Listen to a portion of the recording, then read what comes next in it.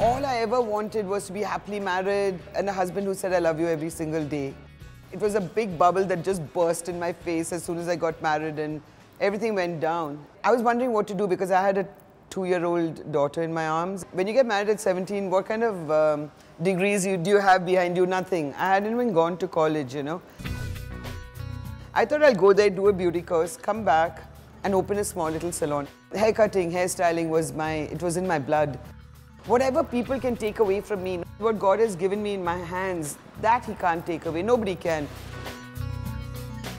Today we've got 200 staff members, but in the beginning when we started out, with the eight people, I used to wonder how am I going to pay them because there were no clients, they didn't know about us. But word of mouth is the only thing that works in this industry. The first six months, no work. After that, there was so much work, we didn't know how to handle it. But what really catapulted me into complete stardom, as you say, in this career, I did Aishwarya Rai's face. You know, she was the most beautiful, she still is the most beautiful woman in the world. And once that happened, every woman and girl wanted to sit on my chair and say, please make me look like Aishwarya. We started doing 100 brides a day. You want to be a glowing, beautiful bride, you need to relax, enjoy, go back to your roots, the earth. Take whatever the earth can give you and use it.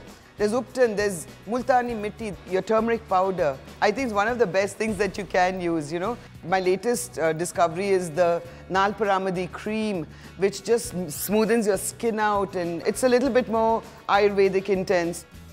Clove oil, if you can keep a little bit of clove oil. We tend to uh, rely too much on the toothbrush. I think your fingers do a better job with your gums. Massage it with your fingers with a little bit of clove oil. It just does wonders, you know. Ayurveda is, it is going back to your roots. And I think the world is ready for Ayurvedic products now.